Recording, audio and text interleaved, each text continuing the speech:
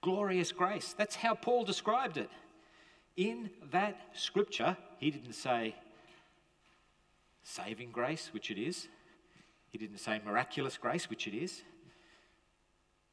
He didn't say powerful grace. He said glorious grace. In other words, this is something that shines through our darkness.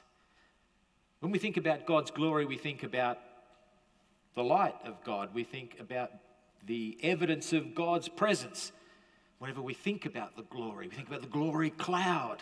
We think of how uh, God's people have been led by his glory, can see his glory. And so, this is how Paul describes grace. When we are in a place that is dark, where we're in a place that's confused, when we are in a place where we can feel trampled, it's the glory of God's grace that hits us. And it's the remarkable truth that God comes to us in power no matter where we are, no matter what we've done. That's what's so glorious about it. God doesn't give up. It reminds me of Psalm 23, where um, it says that surely God's goodness will follow us, but the word is more powerful in the original language. It says, pursue us. Can you imagine the goodness, the grace of God pursuing us? Like we're running away from it, and He is pursuing us. How often can we be tricked into thinking that the darkness is something that the Lord doesn't have? And we can wander off, and despite the fact that we're wandering off, God is pursuing us. He won't let us go. Glorious grace. Glorious grace. The goodness of God. And God does this, and we talked about this in the, in the reading as well because we belong to Him. The scripture says that we are adopted as His children. Powerful thing to be adopted. That gives us a brand new identity. And you've got to think about the time when this was written in Roman times. Adoption was incredible. Caesars used to adopt people, and then once they were adopted, they became the next ruler. For example, Augustus Caesar adopted Tiberius. That was a big thing because once he was adopted, he became the next emperor. You've got to think in those sort of terms. When Paul is saying that we are adopted by the king, by the emperor, that's the sort of thing that's in the background, in the mind of the people that are hearing it. A king adopts us as his very own. That gives us unbelievable rights gives us unbelievable privileges. We are now defined by who we are in Christ because He says so, because He made it so, because He adopted us. That's incredible. So it doesn't matter what we think about ourselves, this is the reality. This is who we are. And we are that because God made it so. God made it happen. God chose us and He decided that we would be His. Not just now, not just tomorrow, but forever. And the original hearers would have also understood that if somebody is adopted, they become a brand new person legally. What was before, any things that they mucked up, any debts that they would have had, they would have been forgotten and there would be a brand new identity. Goodness me, sometimes I feel like I need a new identity. Goodness me, sometimes I look back and think, did I make that mess? Gee, I would love a new identity. And all I have to do is hear these words from Paul that say that I have this new identity in Christ, and this is who I am. Because God says so. And it's a wonderful thing to be chosen by God. Just let that sink in for a second that we are chosen by God. Sometimes I feel like I'm never chosen for anything. I feel like I'm the leftover. You ever felt like you're the leftover? I've felt plenty of times like I'm the leftover. Um, when we were at school, it'd be lunchtime and we'd have a game that we'd have to play. And if it was a sporting game, you'd pick two captains. It'd be John and Mark because they were the big sporty guys and everybody looked up to them because they were the ants' pants when it comes to. And they used to pick the teams. Did you ever have this when you were at school? And so you're all standing there and you're waiting to be picked. This one gets picked and this one gets picked. And I was the kid that was waiting there at the end, hoping that the numbers were even. Because if they were odd, it'd be, ah, uh, you're the last one and it's odd numbers going, you can be the ref, right? Who wants to be the ref when you're 13? Refs don't make any friends. You know how they say you don't make friends with salad? Well, you don't make friends being the ref either. And sometimes I would feel like I was the leftover. Everybody else was picked, and I was left over, superfluous to the needs, almost included out of pity rather than for who I was. That can be a painful experience. I don't know if you ever had that experience, but I can feel like that in life too. I can feel like good stuff is happening to everybody else, and I'm the leftover. Why is God picking all these people and He's leaving me over here? You felt like that. Don't tell me you haven't. You're all humans. We all live in the same world, and we can experience feeling leftover, not chosen, not cherished, but we can feel left over. And God says, that's not the truth. You are living a lie. When we think that, when we feel that, we are allowing the attacks of the evil one, we're allowing the darkness that does live in the world to interfere with our minds, to interfere with our soul. Because when we acknowledge, this is who I am, because God says so, I am his workmanship, because he says so.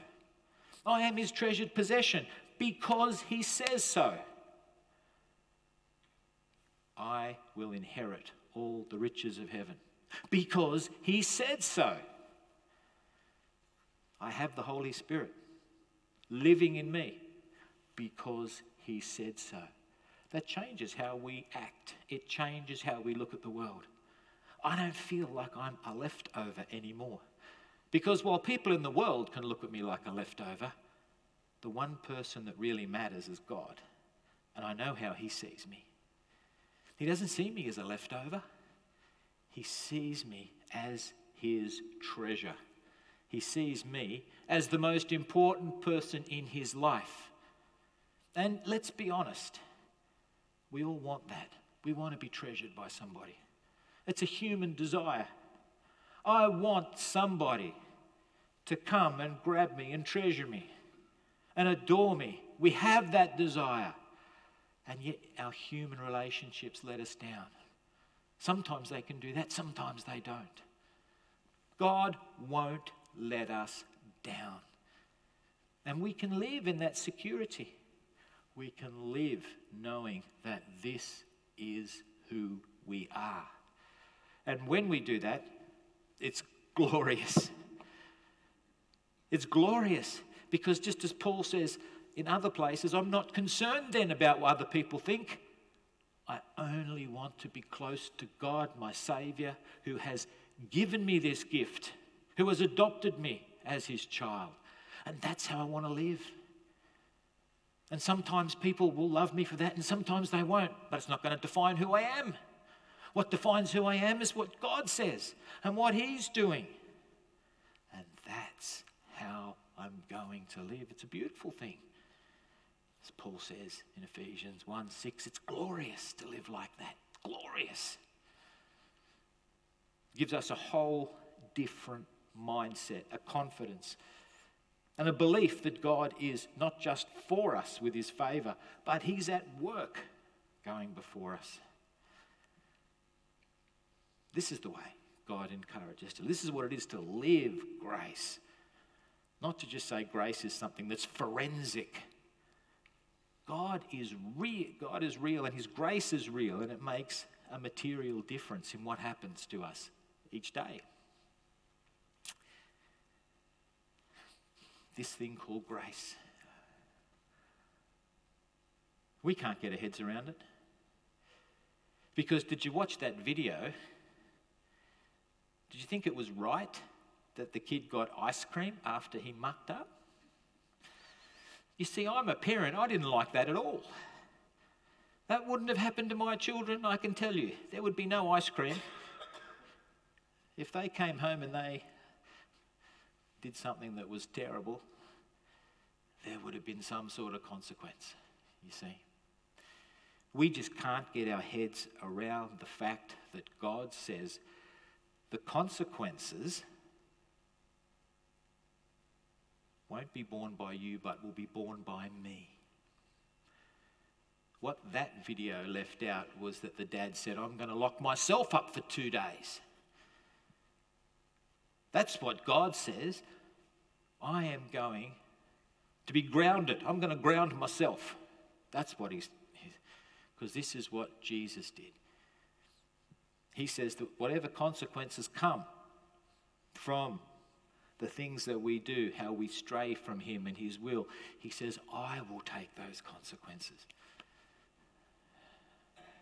That's the crazy thing about grace. Not that there are no consequences, just they don't fall on us.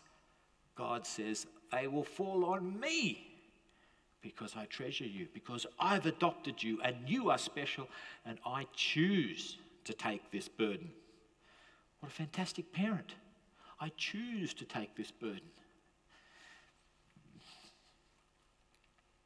Mm, my father was not a Christian man, and I've talked about him a few times because he's a quite remarkable chap. And I was one of these very uh, blessed people who had a fairly idyllic childhood. And my father was a good man. Um, he was born in the 1930s, so he had a different worldview than I guess I have, and yet he was instrumental in the person that I am. Extraordinary, beautiful man that he was. And he understood grace, even though he was not a Christian. And there was a house that we lived in for a long time, beautiful house, you know, very comfortable. And right next to the house was a driveway. And at the end of the driveway was a carport with a huge concrete slab, big enough for two cars, and then a big, big driveway. And of course, when I was a young, young man, or as a, a boy, young man, I didn't see this as a carport and a driveway. Do you know what I saw it as? Cricket pitch. This was designed as a cricket pitch. That's all I could see. How fantastic. Beautiful. Concrete surface, nice run up. We could play wonderful cricket here repeatedly. And the fact that it was a carport, I mean, it had a roof on it, batsman never got hot, standing in the sun. It was ideal. I think it was a carport, so it didn't have walls on it. Anyway, so my friends and I are playing cricket there with a hard ball. And my dad pulls up after work and says, What are you doing? Playing cricket. He says, You can't play cricket there because that hard ball is going to go through the window. He said, What I'm asking you to do is not play cricket here. Righto, Dad. Well, Dad was out. The next day, guess what we did? We played cricket there. Does that surprise you? We played cricket there again. I heard Dad's car coming from work. Dad's coming, quick. And so we ran inside. Dad pulled up. The next day, we played cricket again. Dad comes around the corner, dut, dut, in his car, quick. We all went to my bedroom pretending nothing's going on. On the fourth day, we played cricket, and my cousin, he was a terrific batter. We bowled this ball, and I wanted to get it up near his throat, you know, because I wanted to. It was a bit of a show off, and I wanted to bounce him, but he just went smack. And you know where the hard ball went? Straight through the window. And Dad came home. We were nowhere to be seen, right? nowhere. I was at my friend's place. Mum said, Your son, your son and his idiot mates broke the window. I had to come home at some point, right? Dad knew, no good chasing me. Eventually, I had to come home. I was terrified when I come home. What is my father going to do?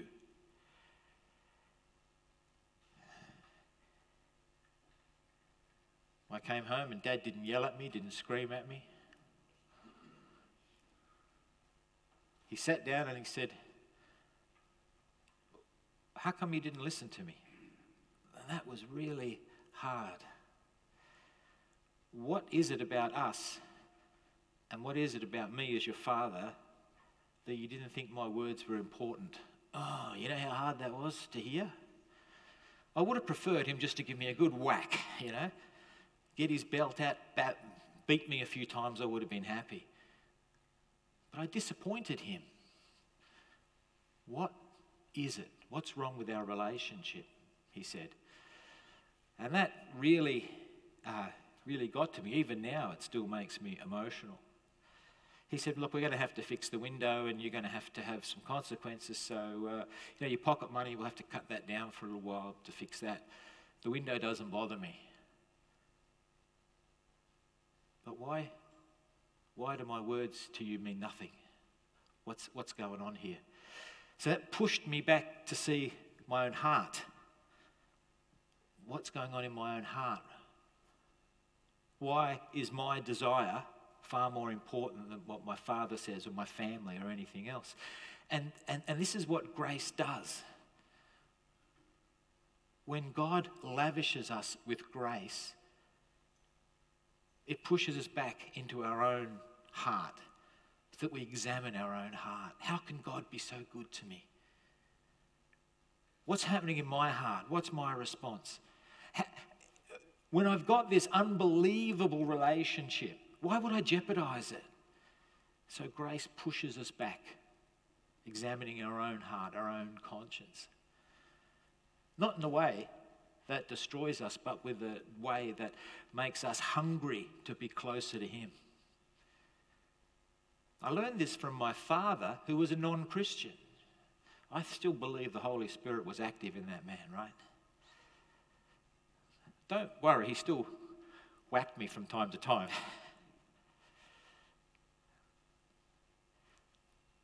but what I learned was the overwhelming goodness of God just hits our heart in such a way that not only do we love, not only do we desire Him, but we are pushed ever closer to Him when we experience this glorious grace. So, as we start this new year, we've got this opportunity right in front of us. We've got the opportunity to acknowledge and declare who we are in Christ. This is my identity, and this is how I'm going to live. And we've got this opportunity to say, I am going to be close to Him. And when His grace comes and overwhelms me, I am going to receive it and I'm going to be driven closer to Him so that we, we are closer, that we are bonded ever closer. It's going to be a great year. There are a few things in front of us but there are always a few things in front of us, aren't there? No matter where we are.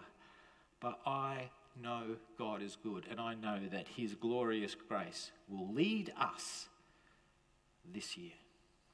Why don't we pray? Lord, what an extraordinary Father you are to us.